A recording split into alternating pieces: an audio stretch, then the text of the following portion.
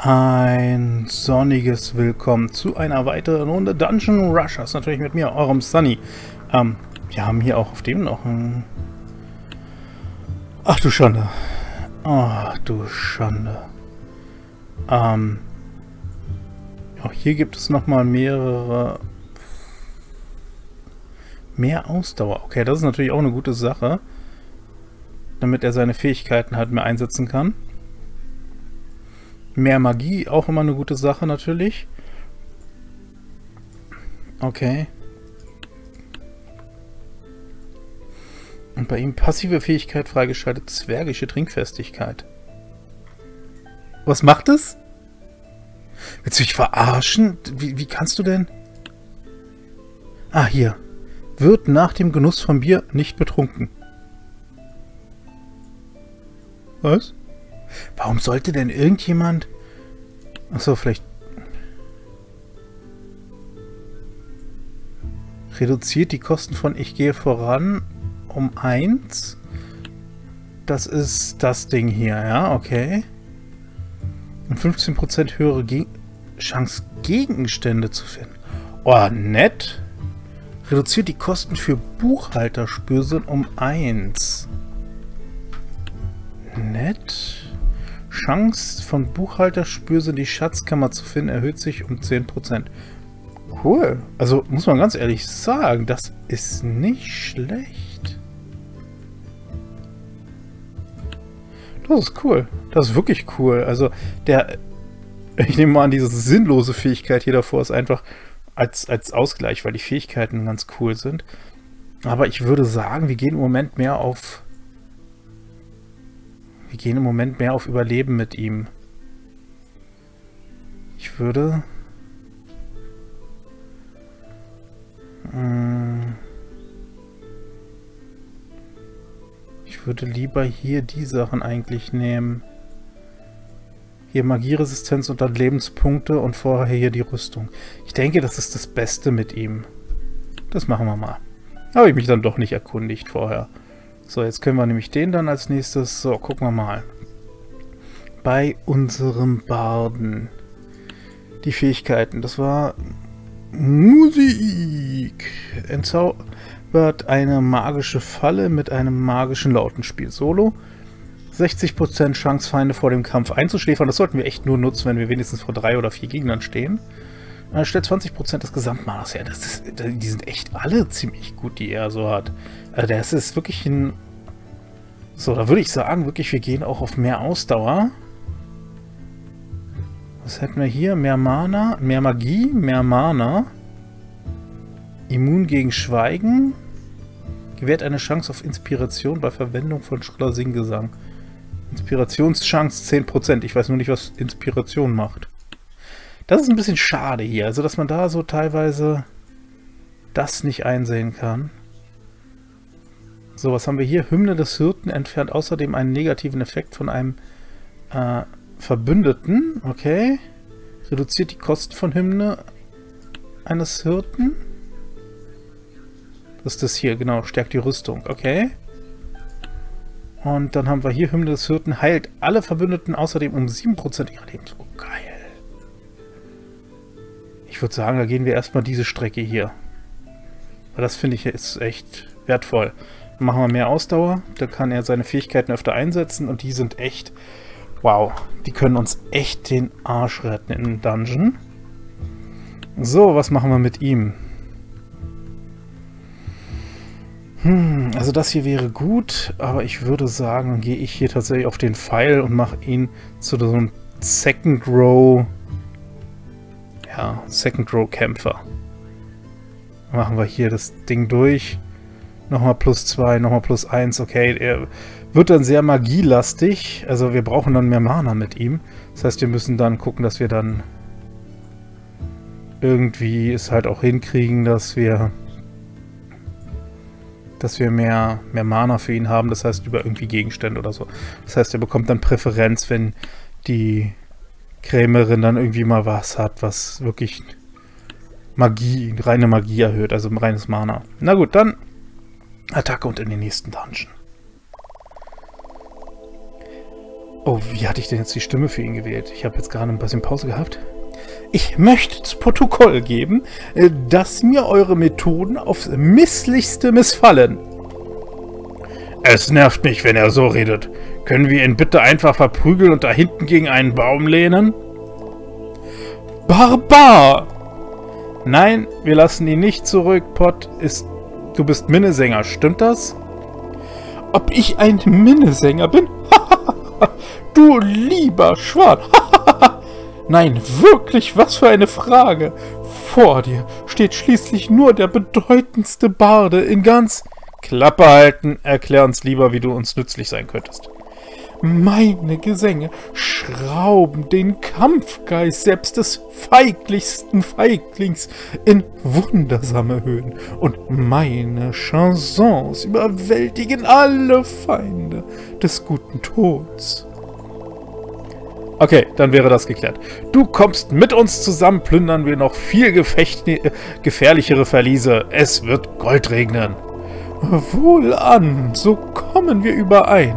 Ah, welche Freude, welch frohes Schicksal, zwei so galanten Herren zu begegnen, die mit Kühnheit und Mut den Witwen und Waisen dieser Welt ihren Beistand schworen. Mögen unsere Abenteuerlustigkeit noch in fernen Ländern gepriesen werden. Oh, bitte, lass mich ihn hauen! Nur eines noch. Was denn jetzt schon wieder? Erwähnte ich, dass mir eure Methoden aufs Misslichste missfallen? okay, voll lustig. Äh, was sind unsere Herausforderungen? Sekunde. Äh, alle Monster töten, kriegen wir hin. Verlies zu 100% erforschen, wollen wir gerne machen. Und alle eigenes auslösen, perfekt. Machen wir gerne, dann würde ich sagen, ich löse mal hier unseren Stamina-Dings aus. Dummerweise kostet die Fähigkeit hier sowieso 5, das heißt, wir können die sowieso nur einmal einsetzen. Und da würde ich sagen, machen wir Aufklärer, tack, benutzen. Alter! Okay. Ähm, nicht schlecht. Nicht schlecht. Also hier ist auf jeden Fall eine Falle. Wir gehen erstmal so die anderen Sachen einfach ab. Da gucken wir uns mal um. So, äh, Wiegenliedchen, nö, dafür nicht. Wir kämpfen erstmal. So. Ähm, dann erstmal auf ihn hier einprügeln. So, zack. Er hat uns wieder in Brand gesetzt. So ein Lacker. Der schrille Gesang hier auf ihn. Zack. Dann haut er einmal zu. Das ist uns relativ wumpe. Und wir prügeln ihn ein. So. Und weiter. Zack. Okay, und da haben wir eine Falle. Ähm, die ist auch ziemlich unangenehm. Da benutze ich den Saboteur. Und damit sind wir nämlich leider alle unsere Fähigkeiten los Fallen auszulösen. Also sagen wir mal so, nicht magische. Er kann ja, glaube ich, noch mindestens einmal eine magische Falle auslösen. Äh, theoretisch sogar zweimal. Okay, das ist gut zu wissen. Wie viel kostet ihn eigentlich seine Fähigkeit? Wiegenliedchen 4. Das heißt, wenn wir die nutzen, könnten wir zusätzlich auch nochmal die zwei magischen Fallen. Also wir könnten das Wiegenliedchen ruhig einsetzen, prinzipiell. So, ich gehe erstmal dahin. Erstmal die Bereiche, die ich nicht erforscht habe.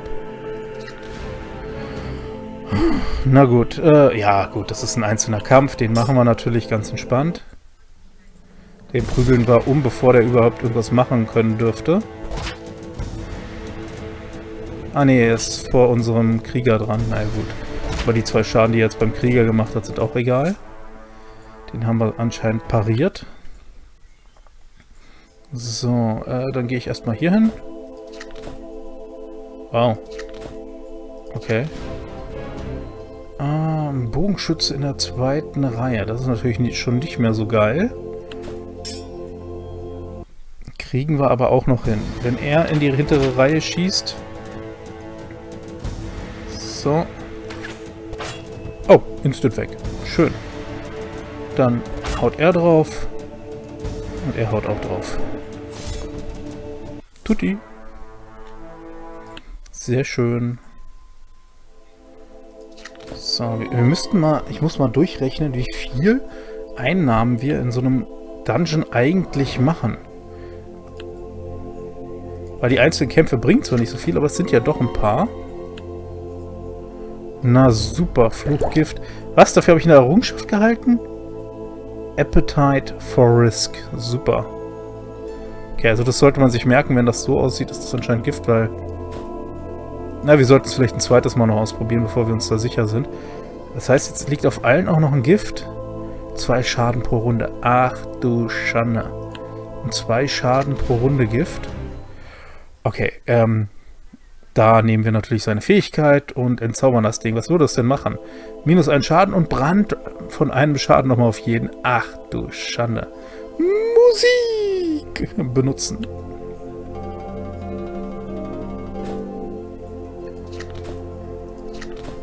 Okay. Boah, das ist ja ein Dungeon, Alter. Ah, das sind jetzt drei Gegner. Da benutzen wir mal den Gesang. Ein bis zwei sollten also eingeschlafen sein mit einer guten Chance. Genau, das heißt, wir prügeln... Oh, er ist schon aufgewacht. Das ist ja doof. Ähm... Den hier schaffe ich mir direkt mit dem Schuss, dann mache ich das.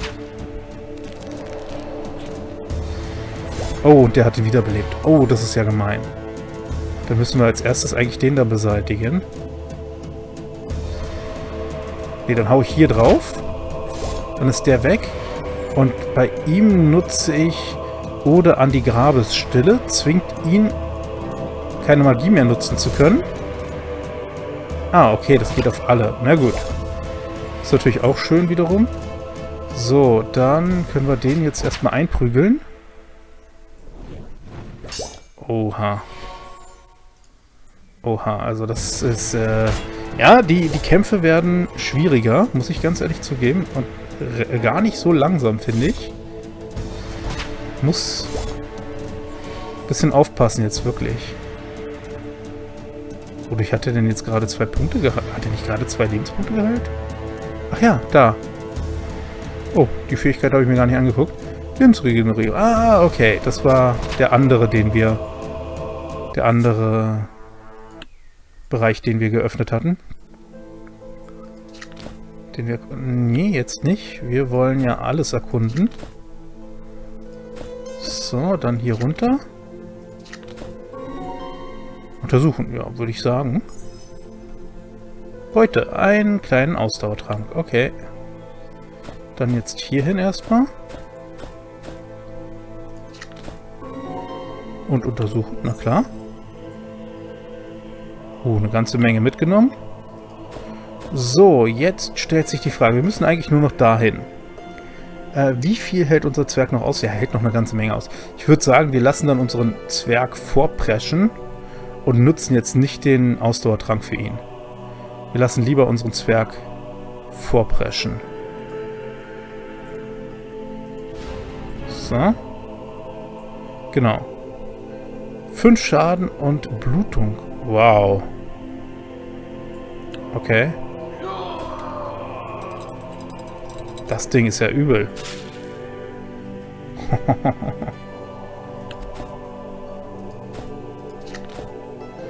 ähm, er hat noch fünf Lebenspunkte. Alleine die Blutung würde ihn töten in der zweiten Runde. Dann nehme ich für ihn einen Heiltrank, würde ich sagen. Kann ich? Ja, okay. Rechte Maustaste, da wird er sofort benutzt. Es wird nicht nochmal nachgefragt. Vorsichtig sein. Und dann machen wir jetzt nämlich das Ding hier platt. Ja, benutzen wir ruhig. Ist der letzte Gegner. Aber wir brauchen auf jeden Fall mehr als zwei Runden. Und in der Zeit wäre er einfach gestorben. Das wäre einfach nutzlos gewesen.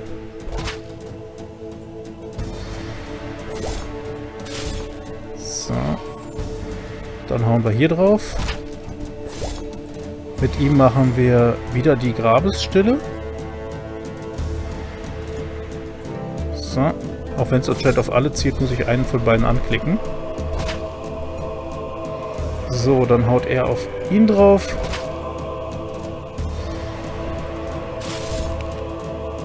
Okay, er hat noch zwei Punkte. Kriegen wir es hin, in der Zeit den Kampf zu bestehen? Ich glaube ja, aber gerade so. Der verliert jetzt einen Lebenspunkt. Und hat er noch einen Lebenspunkt und wir können den Kampf beenden. Okay. Puh. So, nochmal vier Gold. Sehr schön. Und wir können durch, durch den Dungeon. Ja, also... Wir müssen unbedingt mal ausprobieren, ob... Ja, das sind ja unterschiedliche Kristalle. Prinzipiell, was klüger gewesen wäre, denke ich mal, wäre hier in diesem Fall, ich hätte, nachdem klar war, dass ich eigentlich nach dem Ausfall, äh, Auslösen der Falle ihn so geschwächt habe, hätte ich nicht den Heiltrank auf ihn anwenden sollen, sondern ich hätte rausgehen sollen, ähm, hätte den Dungeon verlassen sollen, hätte nochmal reingehen sollen und dann alle Monster töten. Mich dafür um die Fallen nicht kümmern oder so. So, plündern und weiterziehen. Das wäre geldtechnisch die bessere Variante gewesen. Muss man ganz klar sagen. Okay, wieder nur nützliche Sachen für die Werkstatt. Oh, ein Handwerker. Torgrim, Nanu, was machst du denn hier? Äh, hallo, alter Freund. Ihr kennt euch? In der Tat, Torgrim war früher einmal Schatzmeister unserer Gilde. Mit wie viel Geld ist er geflohen? Hä? Das wäre jetzt... Gilde? Allerdings, ich bin ein Mitglied der großen Handwerkergilde. Wir fertigen diverse Objekte für Abenteurer aller Art. Das dürfte sich großartig, denn Torgrim... Dann kann Torgrim uns ja mit mördermäßiger Ausrüstung versorgen. Ist da, ist da immer so ein, so ein... Aber wenn da ein SZ ist, was ist denn da für eine Figur?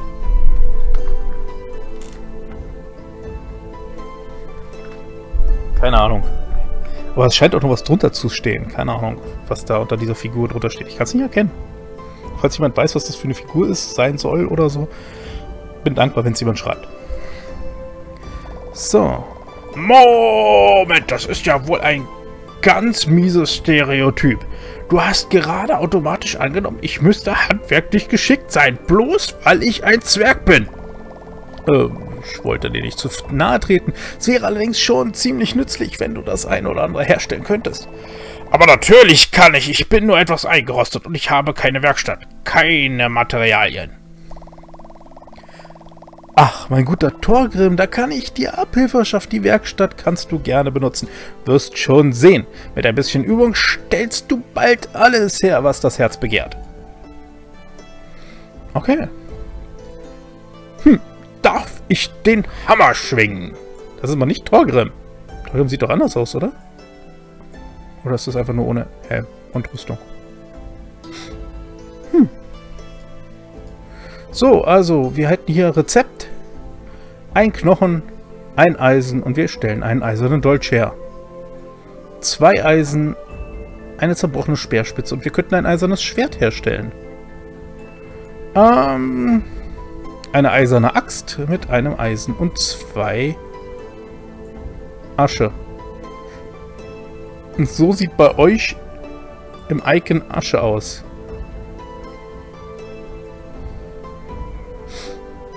Könnte es Esche sein? Eschenholz, dass da ein Übersetzungsfehler ist? Weil das macht keinen Sinn, dass das hier Asche sein soll. Also so gar keinen. Und dann haben wir hier noch einen vampirischen Dolch. Gibt zwei Lebenspunkte, zwei Attacke und das geil. Dafür fehlt uns allerdings ein Kieselstein. Na klar, weil wir ja keinen unterwegs mal finden konnten. Okay, zwei Vampirzähne. Zugegebenermaßen, das akzeptiere ich als nicht so ganz einfach zu erhalten. Das hier könnten wir herstellen. Ein Knochenzepter. Als Fernkampfwaffe, okay. Hm, plus eins auf Magieattacke, äh, plus eins auf Mana und plus eins auf Magieattacke, minus zwei auf Parieren wäre für unseren äh, Magier, also für unseren, unseren Barden vielleicht gar nicht schlecht. Stab des Todes kennen wir schon soweit. Und hierfür fehlt uns... Ja, das wird Esche sein, nicht Asche. Das kann ich mir nicht vorstellen, dass das Asche sein soll.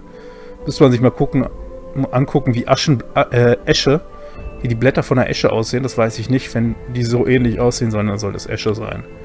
Okay, Rüstung könnten wir auch machen.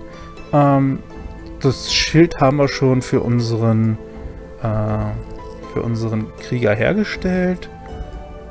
Und äh, ein eiserner Helm, der nochmal einen Lebenspunkt mehr geben äh, gibt.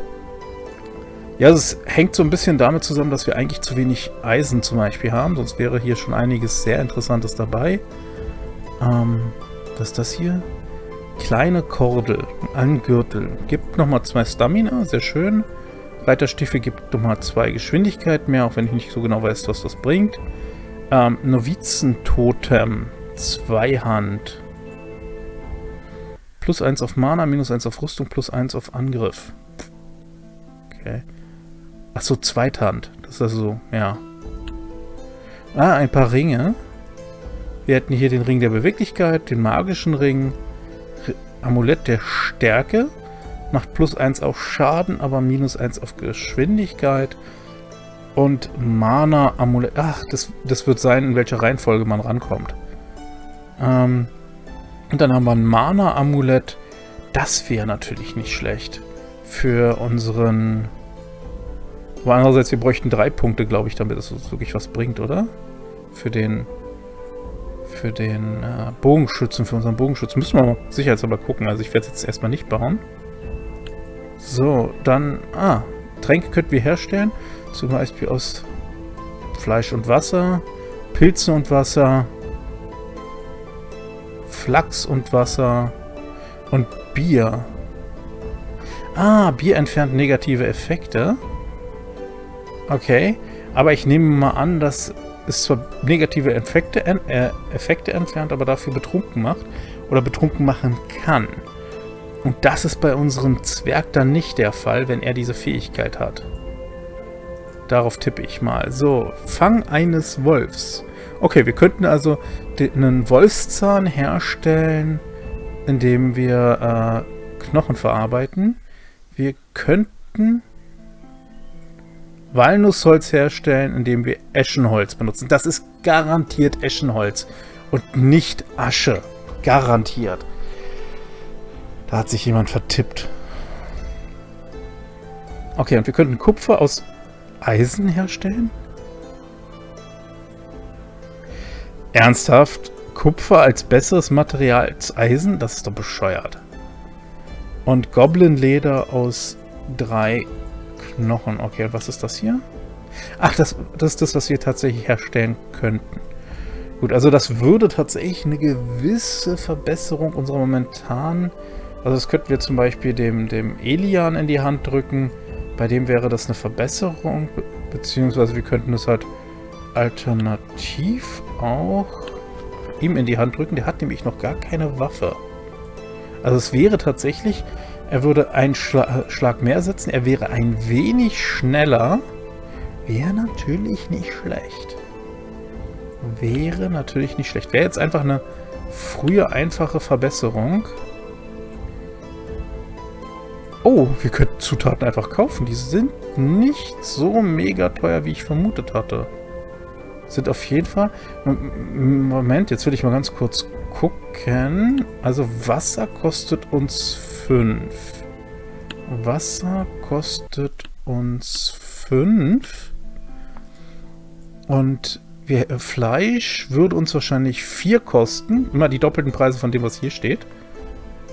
Na, also hier, das ist jetzt, kostet jetzt die Hälfte, allerdings abgerundet, ne, normalerweise 5. Das heißt, für 9, sofern sie es verkauft, würden wir theoretisch einen kleinen Trank herstellen können statt 20. Das klingt doch gut. Dann sollten wir doch mal gucken, ob wir nicht es hinkriegen, bei der Krämerin die Sachen zu kaufen, die wir brauchen. Zum Beispiel hätte ich gerne einen Bogen für ihn. Ein Bogen. Genau. Ach, wir bräuchten zwei, noch ein Holz mehr. Schade. Weil dann das wäre halt nicht schlecht für ihn. Dann könnte er äh, aus der hinteren Reihe noch ein bisschen besser feuern. Und äh, unser, unser Zwerg könnte dann die andere, die eigentliche Waffe von ihm kriegen. Schade. Na gut, aber dann kaufen wir die Asche trotzdem einmal. Und Eisen. Nee, hä? Hm. Wie viel kostet denn ein... Hä? Wasser? Magischer Ring? Der magische Ring... Ah, Sch... Sch hä?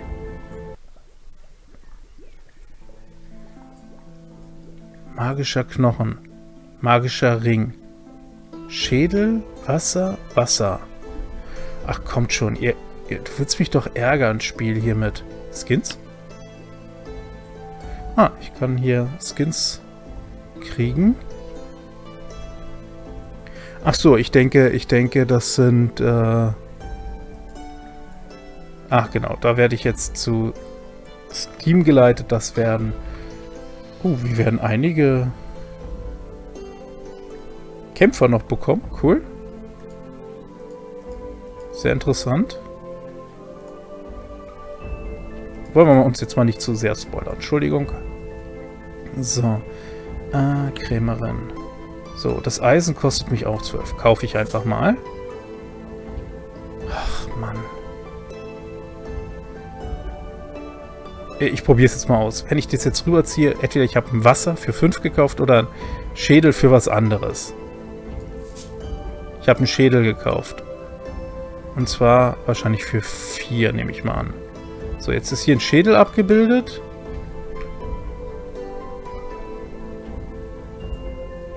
Hey, ich habe gerade einen Schädel für 5 gekauft, oder? Na gut, das muss ich mir mal, muss ich mir mal in der Aufnahme dann selber nochmal angucken. Entschuldigung.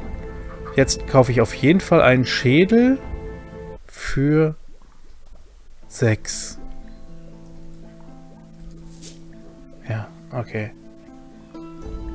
Ich weiß es nicht. Vielleicht habe ich da auch gar nichts gekauft. Dann das Wasser. Oder habe ich das Wasser? Nee, das Wasser habe ich gerade gekauft, oder? Dann wahrscheinlich für fünf. Okay. Das ist merkwürdig. Ich weiß nicht, was, wie und. Ach, egal. Na gut. Ähm. Dann sind wir damit soweit durch, aber jetzt haben wir halt hier ein bisschen mehr Auswahl, was wir eventuell auch machen und kaufen könnten. Die eiserne Axt würde ich jetzt nicht unbedingt machen. Ich finde, aber wenn, dann würde es nur zu Togrim passen und ich will ihn als Tank haben. Da macht weniger Parieren nicht viel Sinn. Das eiserne Schwert könnte man Togrim geben, aber ehrlich gesagt, das hätte ich schon längst mal machen sollen. Ich gebe Togrim sein das eiserne Schwert hier. So. Das hätte ich schon längst mal machen sollen, weil der pariert ja viel öfter. So. Nein, ich gebe ihm die Teller, die, die Bürste nicht wieder. Ähm, da gucken wir jetzt, was wir noch machen könnten in der Werkstatt. Ja, jetzt können wir nämlich eine ganze Menge mehr machen. Also wir könnten jetzt immer noch das Ding hier machen. Den, das Knochenzepter. Ich denke, das wäre ganz gut. Für den brauchen wir einfach noch ein, einmal Eschenholz könnten das Ding hier auch herstellen. Eine eiserne Rüstung. Die macht zwei Rüstung und minus eins in der Beweglichkeit. Wäre natürlich für Torgrim super. Für Torgrim wäre das echt mächtig. Schuhmacher Level 1? Was? Okay. Ähm, So. Dann hätten wir noch hier den magischen Ring. Nee, Quatsch, das hier. Nee, was wollte ich? Das hier, das Mana-Amulett. Eventuell für... Ja, ich mach mal das Mana-Amulett für den... Da wollte ich nochmal nachgucken. Ich erinnere mich. Schuldig, schuldig. Wir sind jetzt hier gerade ein bisschen am Hin und Her pendeln. Der kostet mich jetzt zwei. Das heißt, es wären drei Schüsse. Es wäre erst mit dem nächsten Talent ähm, dann müssen wir da einfach warten, bis wir dann entsprechend mehr Punkte haben. Andererseits sind wir auch wahrscheinlich ein Level höher. Vielleicht bekommen wir dann auch ja nochmal Mana dazu. So, wenn wir einen Mana dazu kriegen, dann löst sich das ja wieder auf. Super, dann... Nee, nicht über ihn gehen, sondern über die Werkstatt. Ich baue das Amulett. Und ich sehe gerade, wir bekommen hier auch XP für. Das heißt, wir müssen Sachen bauen. Und äh, sonst kommen wir gar nicht weiter und können keine neuen, besseren Sachen herstellen. Das heißt, selbst wenn wir dann sagen, ja, aber die Zutaten verschwendet. Nein, wir mussten das ja leider machen. So, und hier würde ich sagen, machen wir dann das hier noch einfach als Verbesserung für unseren Barden. So, dann equippen wir mal hier ein bisschen. Er bekommt das Amulett. Der Barde bekommt das Zepter. Ah, das war jetzt doof eventuell.